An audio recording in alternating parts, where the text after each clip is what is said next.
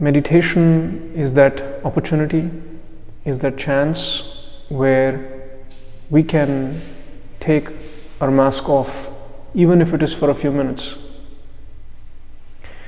When I say this mask,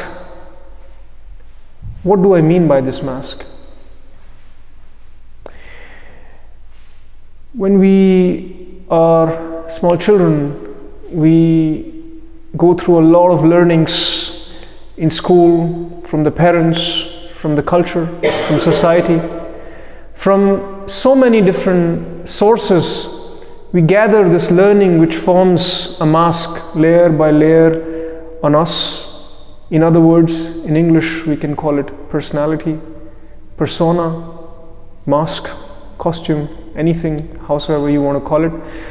But this is something which gathers, we gather this at such an early age, even before we know who we really are. We gather this and then we carry this on throughout our lives without giving it a chance to take this off, without knowing who's behind this mask.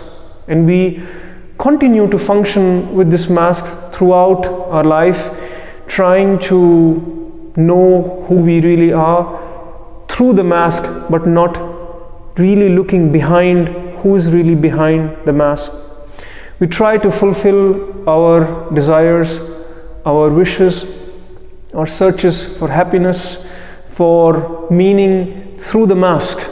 We try to fulfill the mask and not the person who is behind the mask. In 90s there was a movie by Jim Carrey called The Mask. It was a very entertaining movie. I'm reminded of this movie because what this movie depicted was that the person is an ordinary person. He's powerless. He's having lots of flaws. But the moment he puts his mask on, he becomes empowered. He can do anything that he wants he has special abilities. To me, it's in reality, it's the other way around. When we put the mask on, we are ordinary. When we put the mask on, we are limited. When we put the mask on, we are full of flaws. But behind that, if you take that mask off, you are limitless you are flawless, you are already perfect the way you are, but we don't know who's behind this mask. We don't know how to take this mask off. We have even forgotten in our daily lives that we are having this mask on.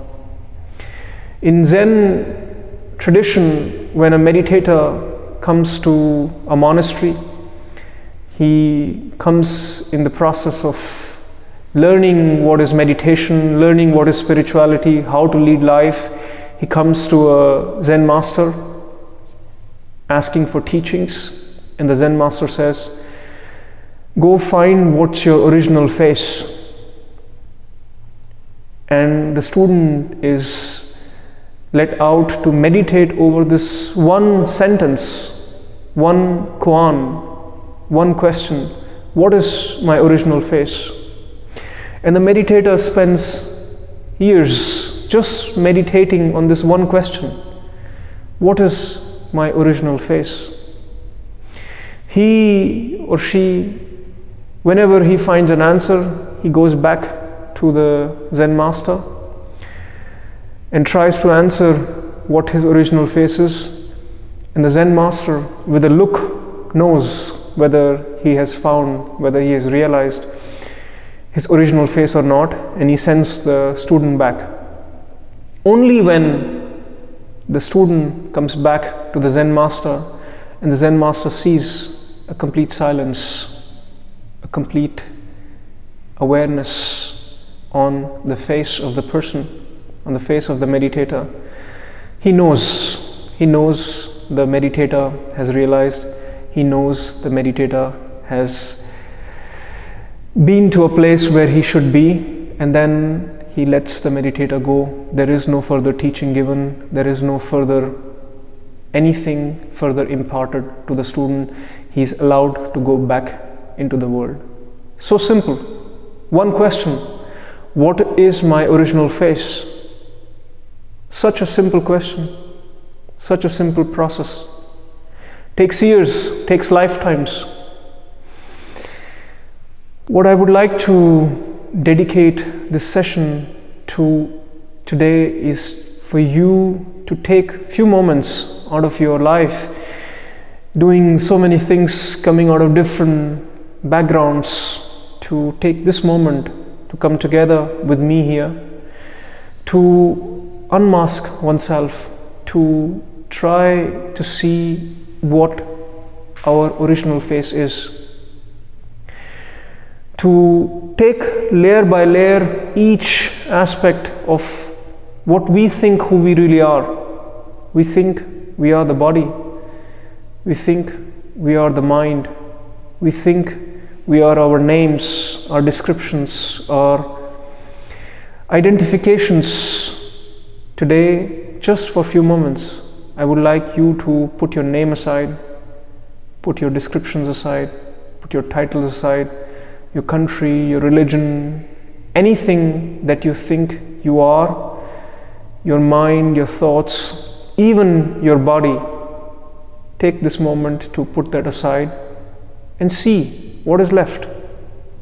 What is left when all what you think you are is put aside? Even the notion of what we think who we really are, because we have gone through so many learnings in life most of us are also interested in spirituality, in spiritual quests. We have gathered so much knowledge, experiences. I would like to request you to take this opportunity to even put that aside, to say, whatever I know about who I am, whatever I think I am, just for a few moments, I put it aside and let's, and let's see what happens.